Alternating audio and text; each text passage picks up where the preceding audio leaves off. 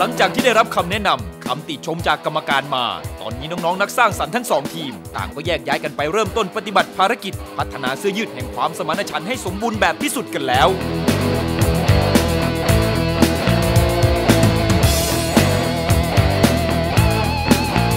ปีกับน้องออยครับ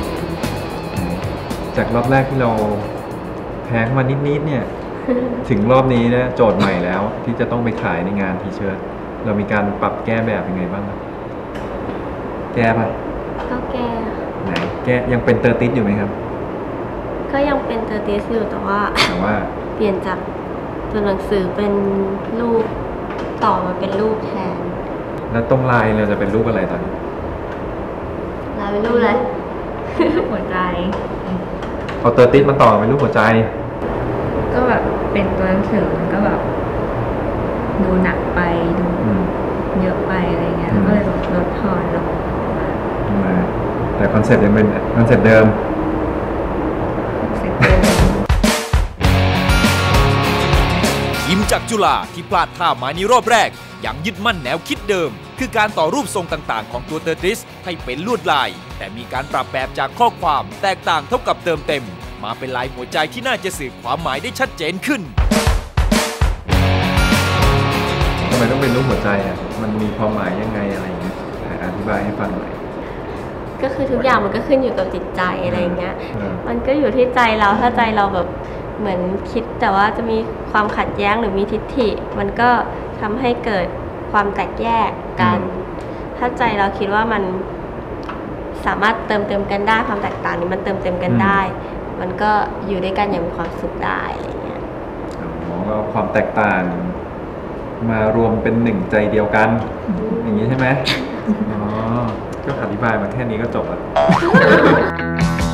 จากเสื้อแบบเดิมที่เป็นคอวีแขนยาวสีขาว เปลี่ยนเป็นเสื้อแขนสั้นแทน ส่วนลวดลายนั้นยังคงใช้ตัวต่อเตอร์ตริสทั้ง 5 แบบ 5 สีอยู่ แต่เปลี่ยนจากคำว่าแตกต่างเท่ากับเติมเต็มที่อยู่ชายเสื้อ มาเรียงต่อกันใหม่เป็นรูปหัวใจตรงกลางตัวเสื้อ โดยลายนั้นเป็นรูปหัวใจที่ประกอบจากตัวเตอร์ติส โดยยังมีที่ว่างไว้ให้เพื่อนๆอีก 5 ตัวที่กำลังร่วงหล่นลงมา ประกอบเข้าด้วยกันได้พอดี และใช้คำสามคำว่า ต่างเติมเต็ม ในการสื่อแนวคิดออกมา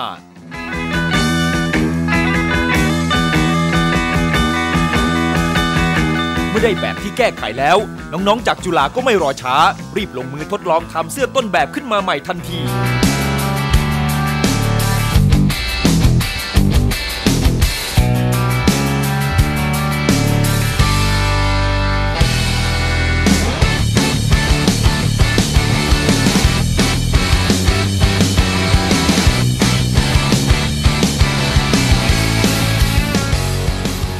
ก็ตัวจะติดที่ต่าม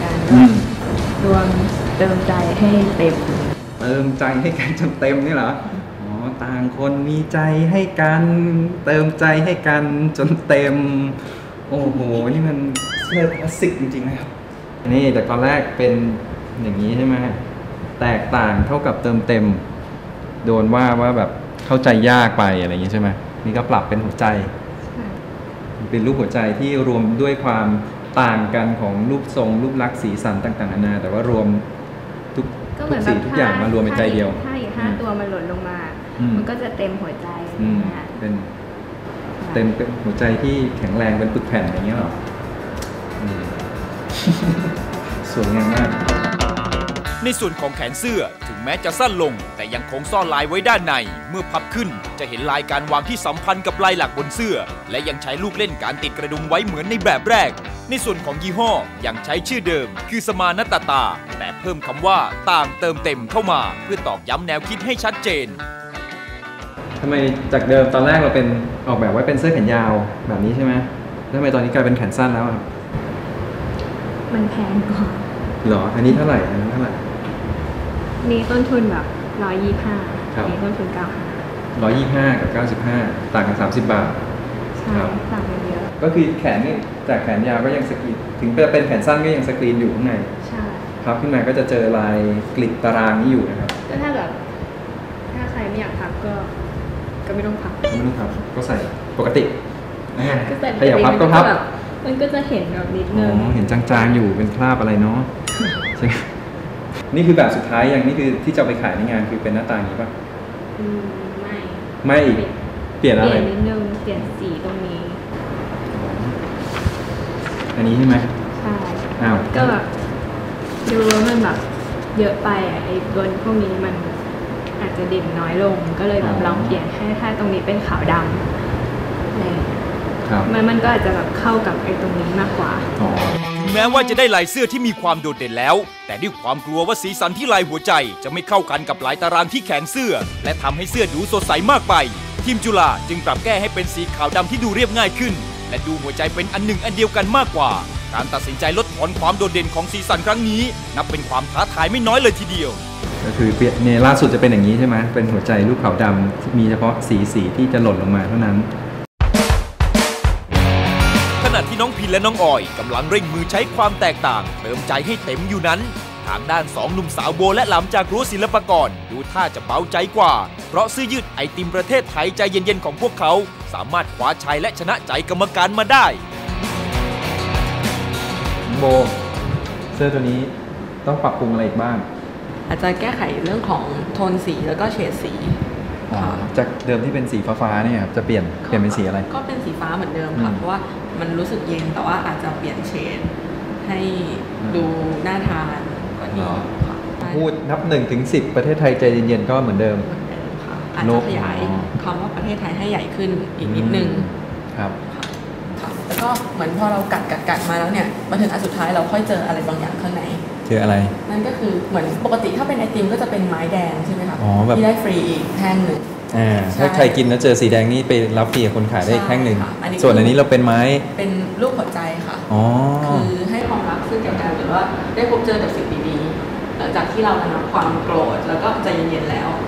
ครับค่ะอาจจะเป็นเพลงกิมมิคเล็กๆที่แบบ ถ้าใครไม่สังเกตอาจจะไม่เห็น แต่หนูก็คิดว่าถ้าคนที่สังเกตเห็นเนี่ยก็คงแอบยิ้มใช่เพราะว่าคนใส่เสื้อตัวนี้ต้องเป็นคนที่ใส่ใจเหมือนที่เราบอกใช่ไหมครับใช่ก็จะต้องสังเกต แล้วก็จะอารมณ์ดี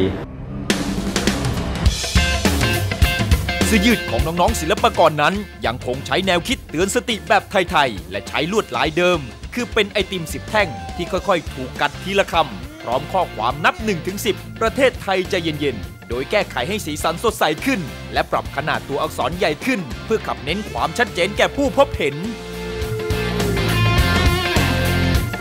นี่ลองเทียบกันดูครับปรับให้มันถูกแสงอ๋อสีเหลืองจะชัดขึ้น ใช่ค่ะ ดูเป็นไอติมมากดูเป็นไอขึ้นติมปรับก็คือปรับนิดเดียวแหละ ให้ดูเป็นไอติมมากขึ้น แล้วก็เปลี่ยนเลขเป็นเลขไทยใช่ไหมค่ะครับอืมปรับเปลี่ยนขนาดขนาดตัวอักษรให้ใหญ่ขึ้นอ่านง่ายขึ้นนิดหน่อยแค่นั้นเองโอ้โหถือว่างานง่ายเนี่ย อ๋อทีเดียวใช่ไหมก็นี่ได้รับคำชมไปมากเลย ถ้าทางจะรอบนี้จะไม่ต้องเหนื่อยเหมือนรอบที่แล้วป่ะไม่ค่ะ รอบนี้ก็ยังต้องคิดวิธีการขายครับวิธีการขายหรือว่าวิธีการที่เราจะพรีเซนต์งานของเราให้คนที่เดินผ่านไปผ่านมาแบบเป็นหมื่นๆคนเนี่ยเขาจะมาสนใจงานเราได้ยังไง ครับ ใช่ค่ะ แล้วเราคิดได้ยังก็ก็พอช่วยๆคิดอยู่ช่วยๆกำลังวางแผนกันอยู่ทีมศิ ลปากรที่ปรับแบบเสร็จเรียบร้อยแล้ว จึงใช้เวลาที่มีออกไปซื้อของมาสร้างสรรค์ลูกเล่น ส่งเสริมการขายอย่างไม่รอช้า ไปสำเพ็งไปซื้อไม้ไอติมใช่ไหมอือฮึแล้วก็ไปกระดาษที่นั่นค่ะ กระดาษเอามาทำป้ายราคา โอเคพี่ครับ เอาสีเหลือง 503 51สีชมพู512 แล้วก็สีเขียว 532 อย่างละเมตรครึ่งครับ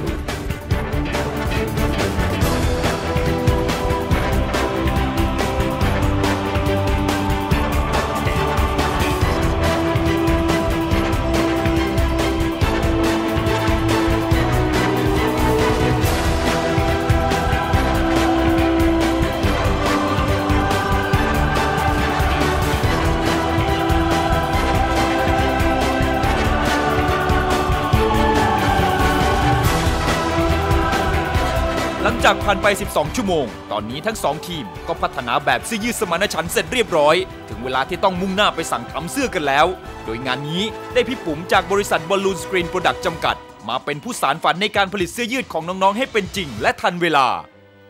เหมือนสกรีน